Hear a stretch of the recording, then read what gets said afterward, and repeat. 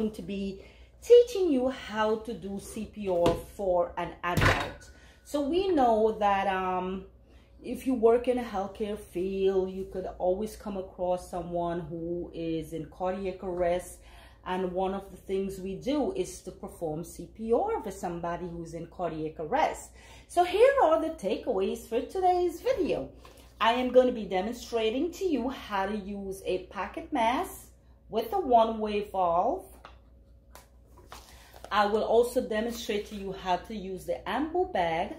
I am going to show you how to check responsiveness, how to give 30 compressions and give two breaths. So that being said, let's dive into the video. So the first thing you want to do when you come on a scene and you find a patient unresponsive is that you want to tap the, the, the person.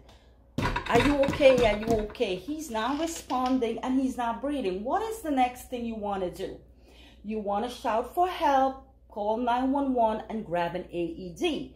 The next thing you want to do is to place two fingers and gently palpate the, the carotid artery. Palpate it for 5 to 10 seconds. If there's no pulse, you want to start compression. So the American Heart Association recommends that you Place one hand on the lower half of the chest bone and you place the other one on top and then you give 30 compressions. So let's go.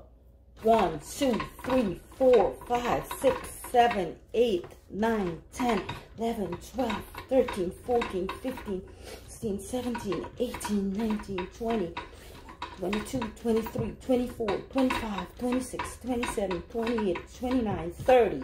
So you give 30 compressions and then you want to give two breaths using a pocket mask.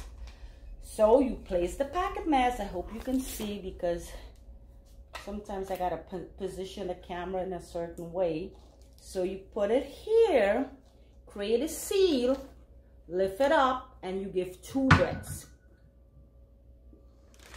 One, two. So you give 30 compressions and two breaths and you're giving five cycles. Every 30 compressions, you want to give two breaths. And you don't want to give the breaths too hard. You don't want to um, cause hyperinflation of the lung. That's when gastric juice enter into the stomach and cause the stomach to um, kind of be distended. You don't want to do that. You want to give it nice, like how you will take in normal breath. So 30 compressions, two breaths. You're pushing down the American Heart Association um, 2015 update recommends that you push down two and a half inches. You want to push real hard and you want to keep your elbows straight. So if a second rescuer comes in, you're going to be using a ambu bag. One rescuer will be given 30 compressions.